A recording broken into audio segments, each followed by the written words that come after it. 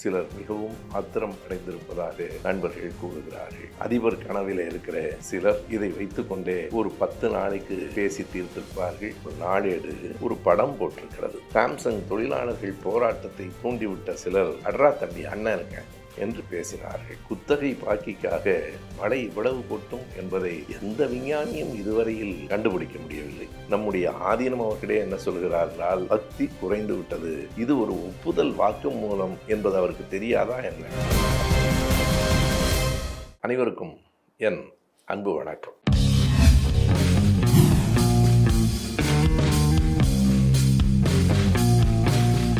மிக கடுமையான புயலும் மழையும் சென்னையை தாக்கக்கூடும் என்று அறிவிக்கப்பட்டிருந்த அந்த அறிவிப்பை தாண்டி அப்படி ஏதும் நடக்காமல் அந்த மேக குவியல்கள் நம்மை விட்டு ஆந்திராவை நோக்கி நகர்ந்து விட்டன. சென்னை தப்பித்திருக்கிறது. ஒரு நாள் பெய்த மிக கடும் மழையில் கூட சென்னையில் எல்லா விதமான நிவாரணங்களும் மேற்கொள்ளப்பட்டு மக்கள் எல்லா துயரங்களிலிருந்தும் விடுபட்டிருக்கிறார்கள். அந்த மழை பெய்த மறுநாடே தெருக்களில் தண்ணீர் தேங்கவில்லை. வேளச்சேரி பள்ளிக்கரணை பட்டாளம் போன்ற தாழ்வான பகுதிகளில் கூட தண்ணீர் மோட்டார் பம்புகளால் எடுக்கப்பட்டிருக்கிறது என்பது ஒரு நல்ல செய்தி.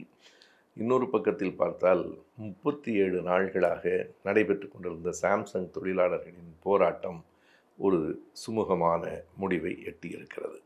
இந்த இரண்டு நல்ல செய்திகளையும் கேள்விப்பட்டு மக்கள் மகிழ்ச்சி அடைகிறார்கள். ஆனால் இந்த இரண்டு செய்திகளாலும் சிலர் மிகவும் ஆத்திரம் அடைந்திருப்பதாக நண்பர்கள் கூறுகிறார்கள். நல்லவை தானே நடந்திருக்கிறது. இதற்கு ஏன் ஆத்திரப்பட வேண்டும் என்றால் நல்லது நடந்திருப்பதால் தான் அவர்கள் ஆத்திரப்படுகிறார்கள். இந்த வெள்ளம் பெருக்கெடுத்து கூடியிருக்குமானால் சில ஊடகங்கள் அதிபர் கனவில் இருக்கிற சிலர் இதை வைத்துக்கொண்டே ஒரு பத்து நாளைக்கு பேசி தீர்த்திருப்பார்கள். தமிழ்நாடு அரசே பதவி விலகு என்று குரல் எழுப்பியிருப்பார்கள். ஒரு பத்திரிகை ஒரு நாளேடு ஒரு படம் போட்டிருக்கிறது. அந்த படத்தில் கணுக்கால் அளவு தண்ணீரில் மக்கள் நடந்து வருகிறார்கள். அவர்கள் போட்டிருக்கிற படமே அதுதான். கீழே என்ன எழுதியிருக்கிறார்கள் என்றால் சென்னை தத்தளிக்கிறது. முழங்கால் அளவு தண்ணீரில் மக்கள் நீந்துகிறார்கள் என்று போட்டிருக்கிறது. அவர்கள் ஊரில் கணுக்காலுக்கு முழங்கால் என்று பெயரா என்று நமக்கு தெரியாது. எனவே இப்படிப்பட்ட ஊடகங்கள் காத்திருந்தார்கள். சாம்சங் தொழிலாளர்கள் போராட்டத்தை தூண்டிவிட்ட சிலர் அட்ரா தம்பி அண்ணன் இருக்கேன் என்று பேசினார்கள். இப்படி பேசியதற்கு பிறகும் அந்த சாம்சங் தொழிலாளர்கள் ஒரு வன்முறையில் கூட ஈடுபடவில்லையே என்று அவர்களுக்கு வருத்தம். இப்படி பல வருத்தங்களுக்கு இடையில் ஒரு பெரிய மகா கண்டுபிடிப்பு ஒன்றும் வெளிவந்திருக்கிறது. முதலில் அதை பதிவு செய்துவிட்டு பிறகு இவர்களின் ஆத்திரம் இவர்களின் ஆதங்கம் பற்றி நாம் பேசலாம். அரசாங்கம் என்ன செய்திருக்கிறது என்பது குறித்தும் பேசலாம். இடையில் நடந்திருக்கிற மகா கண்டுபிடிப்புக்கு உரியவர் நம்முடைய மதுரை ஆதீனம் அவர்கள். அவர்கள் புதிய தலைமுறை என்கிற ஒரு தொலைக்காட்சியில் அவருடைய நேர்காணலை நான் பார்த்தேன். அவர் இரண்டு பெரிய செய்திகளை வெளிப்படுத்தி இருக்கிறார் பொதுவாக மழை ஏன் இப்படி அளவுக்கு கூடுதலாக பெய்கிறது என்று கேட்டால் விஞ்ஞானிகள் அதற்கு பல காரணங்கள் சொல்லுவார்கள். பொதுவாக தென்மேற்கு பருவமழை ஓய்ந்து வடகிழக்கு பருவமழை தொடங்குகிற நேரம் இது. ஐப்பசி கார்த்திகை அடைமழை என்பது நம்மிடத்தில் இருக்கிற சொலவடை. எனவே இது ஐப்பசி மாதம் வடகிழக்கு பருவமழை தொடங்குகிறது. எனவே இந்த அளவுக்கு பெய்திருக்கிறது என்று சொல்லுவார்கள். ஆனால் விஞ்ஞானிகளுக்கெல்லாம் தெரியாத இரண்டு செய்திகளை ஐயா மதுரை ஆதீனம் அவர்கள் நேற்றைக்கு அந்த பத்திரிகையாளர்களிடம் சொல்லியிருக்கிறார். எதற்காக இவ்வளவு கூடுதலாக மழை பெய்கிறது? அவர் ஆரம்பிக்கும் போதே ஏன் என் வாயை கிளறீங்கிறார் பிறகு அவர் அதற்கு உடன்பட்டு இரண்டு காரணங்களை சொல்லுகிறார். ஒன்று மக்களிடம் பக்தி குறைந்து விட்டது. அதனால் மழை பெய்கிறது என்கிறார். இன்னொன்று அது மிக அற்புதமான இன்னொரு காரணம். பல பேர் இந்த குத்தகை பாக்கி வைத்திருக்கிறார்கள். மடத்துக்கு கொடுக்க வேண்டிய குத்தகையெல்லாம் கொடுக்கவில்லை. குத்தகை பாக்கி வைத்திருக்கிறார்கள். அதனால் தான் மழை கொட்டுகிறது என்கிறார். அப்படியே மெய்சிலிர்த்து போனேன் குத்தகை பாக்கிக்காக மழை இவ்வளவு கொட்டும் என்பதை எந்த விஞ்ஞானியும் இதுவரையில் கண்டுபிடிக்க முடியவில்லை. பக்தி குறைந்து விட்டது அதனால் தான் மழை பெய்கிறது. பக்தி குறைந்தால் மழை பெய்யுமா என்பது வேறு. பக்தி இல்லை என்பதால் மழை பெய்யவில்லை. இங்கே நல்லவர்களே இல்லை மழை இல்லை என்று தான் சொல்லுவார்கள். ஆத்தாவுக்கு கோபம் வந்துருச்சு. எனவே தான் மழை இல்லை என்று மழை வருவதற்காக யாகம் பூஜை எல்லாம் நடத்துவார்கள். நம்முடைய ஆதீனம் அவர்கள் அப்படியே புரட்டி சொல்லுகிறார். இங்கே பக்தி குறைந்து விட்டது. எனவே மழை கொட்டுகிறது. ஒருவேளை மழையே இல்லாத சஹாரா பாலைவனம் போன்ற பகுதிகளில் பக்தி மிக்கவர்கள் நிறைய இருப்பார்களோ என்னவோ நமக்கு தெரியவில்லை. அது உண்மையா பொய்யா என்பதை விட்டுவிடலாம் ஆனால் இதில் ஒரு உண்மை இருக்கிறது. நாம் சொல்லுகிற போதெல்லாம் இங்கே பகுத்தறிவு வளர்ந்து கொண்டிருக்கிறது. இது பெரியார் மண் என்று சொல்லுகிற போதெல்லாம் இல்லை இல்லை. இங்கு ஒரே பக்திமயமாக இருக்கிறது. இது ஆன்மீக மண் என்று சொல்லுவார்கள். இன்றைக்கு நம்முடைய ஆதீனம் அவர்களே என்ன சொல்கிறார் என்றால் பக்தி குறைந்து விட்டது. இது ஒரு ஒப்புதல் வாக்கு மூலம் என்பது அவருக்கு தெரியாதா என்ன?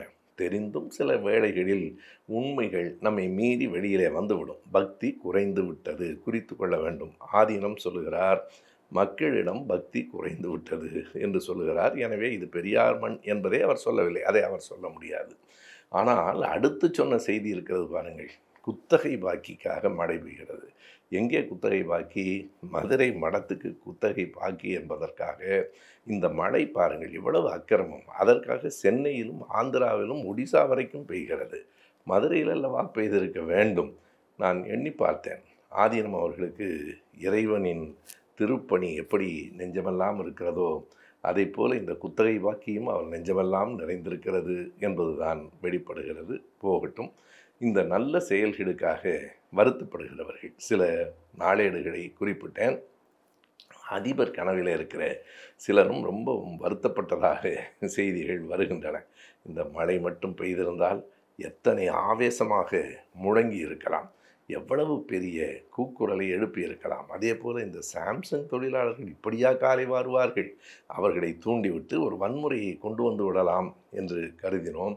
எல்லாம் வீணாகி போய்விட்டதே. என்று அந்த அதிபர் வருத்தப்படுகிறாராம். ஒரு பெரிய கேள்வி இருக்கிறது. சிலர் புரியாமல் இப்படி கேட்கிறார்கள். எல்லா போராட்டங்களையும் தூண்டி விடுகிற இவர் இவர் கட்சியின் சார்பில் கடந்த பதினான்கு ஆண்டுகளில் ஒரு போராட்டம் கூட நடத்தவில்லையே ஏன் என்று கேட்கிறார்கள். கேட்கிறவர்களுக்கு விளங்கவில்லை. அண்ணன் போராட்டத்தில் இறங்கினால் நாடு என்ன ஆகும் என்று அவர் கவலைப்படுகிறார்.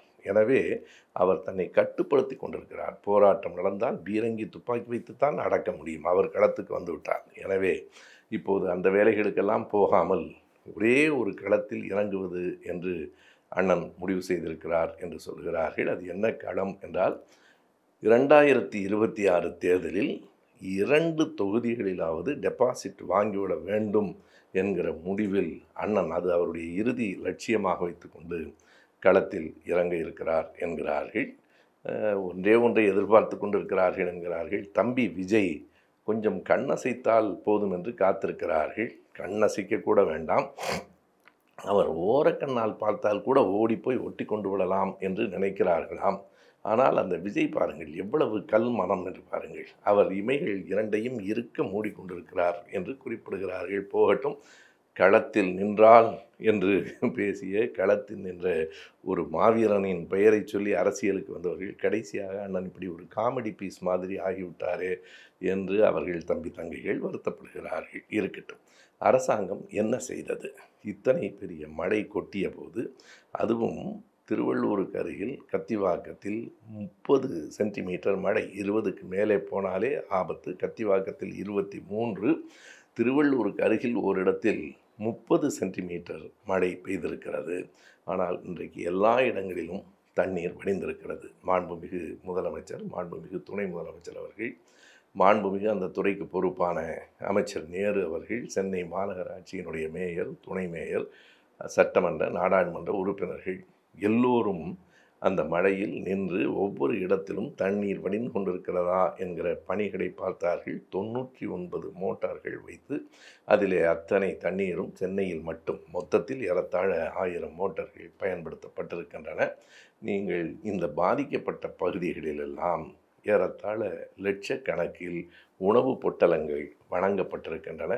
அம்மா உணவகம் பெயரை மாற்றி விடுவார்கள் என்றார்கள். அதே பெயர் இருக்கட்டும் என்று முதலமைச்சர் பெருந்தன்மையோடு சொன்னார். அந்த அம்மா உணவகத்தில் நேற்றும் முன்தினமும் இன்றும் உணவு இலவயமாக வழங்கப்படுகிறது. இலவயம் என்றால் அது மக்கள் பணம்தான். மக்களுக்கு உரியதை மக்கள் துன்பப்படுகிற நேரத்தில் கொடுக்கப்பட வேண்டும் என்கிற அந்த உள்ளத்தோடு அந்த இலவய உணவுகள் வழங்கப்படுகின்றன. முதலமைச்சர் சொல்லியிருக்கிறார் இன்னும் முப்பது விழுக்காடு பணி பாக்கி இருக்கிறது. அதுவும் முடிந்துவிட்டால் அடுத்த மழைக்கு தமிழ்நாட்டில் சென்னையில் குறிப்பாக எந்த இடத்திலும் தண்ணீர் தேங்காது என்று சொல்லியிருக்கிறார். எனவே இப்படிப்பட்ட ஒரு பாய்ச்சலில் பணி நடந்திருக்கிறது. விமான நிலையத்தை விட்டு இறங்கி வந்தவர்கள் அவர்கள் புறப்படும் போது கோவையிலே மழை இல்லாமல் இருந்திருக்கலாம் திருநெல்வேலி தூத்துக்குடியிலே மழை இல்லாமல் இருந்திருக்கலாம் ஆனால் சென்னையிலே வந்து இறங்குகிற போது கொட்டுகிற மழை எந்த விதமான வாடகை வண்டியும் கிடைக்கவில்லை. கிடைத்தாலும் ஐநூறு ரூபாய் இருக்கிற இடத்தில் ஆயிரத்தி ஐநூறு இரண்டாயிரம் ரூபாய் கேட்கிறார்கள். என்ன செய்வதென்று பயணிகள் தவித்து கொண்டிருந்த போது மாநகர பேருந்துகள் அவர்களை அழைத்து வந்திருக்கின்றன. இவற்றை அந்த மக்களே சொல்லுகிறார்கள். அப்படி ஒரு பெரிய ஏற்பாட்டினை அரசு செய்திருந்தது என்று எனவே எல்லா வகையிலும் மக்களுக்கான சேவைகளை இந்த அரசு விரைந்து செய்தது. நீங்கள் பார்க்கலாம் அந்த கட்டுப்பாட்டு அறைகள் ஒவ்வொரு இடத்திலிருந்தும் வருகிற செய்திகள். ஏறத்தாழ நானூற்றி அறுபத்தி ஒன்பது இடங்களில் நீர் தேங்கியிருந்தது. ஒரே நாளில் முன்னூற்றி ஐம்பத்தி ஆறு இடங்களில் தண்ணீர் வடிந்துவிட்டது என்கிற செய்திகளை எல்லாம் ஊடகங்களே எழுதுகிறார்கள் தொலைக்காட்சிகளே சொல்லுகிறார்கள். எனவே இப்படி விரைந்து அரசு செயல்பட்டு மக்களை துயரத்திலிருந்து காப்பாற்றி இருக்கிறது அதுதான் பாவம். இவர்களுக்கெல்லாம் பெரிய துன்பமாக இருக்கிறது. மக்களை காப்பாற்றி விட்டார்களே பேசுவதற்கு ஒன்றுமில்லையே என்று ஒருவர் படகிலே போவார் அவர் லண்டனுக்கு வேறு போய்விட்டார் இருந்தார். அவர் படகு சவாரியாவது செய்திருப்பார். எனவே இப்படி வெள்ளத்தை சமாளித்த தமிழ்நாடு அரசு சாம்சங் தொழிலாளர்களின் போராட்டத்தையும் ஒரு முடிவுக்கு கொண்டு வந்திருக்கிறது.